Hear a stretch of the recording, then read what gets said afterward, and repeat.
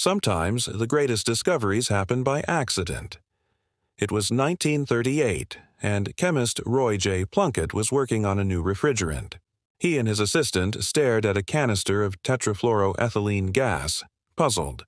The valve was open, but nothing came out. Curious, they sawed the canister open and found not gas, but a mysterious waxy white powder.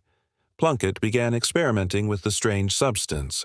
He discovered it was incredibly slippery and resistant to nearly everything, from extreme heat to corrosive acids.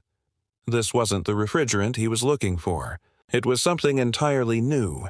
A light bulb went on. Plunkett realized this material, later named Teflon, had immense potential.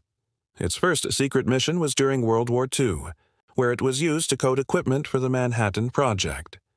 By the 1950s, Teflon slid into our homes. The first Happy Pan, a non-stick frying pan, revolutionized kitchens, making cooking and cleanup easier for families everywhere. From cookware to spacecraft, Plunkett's accidental find has left a lasting legacy.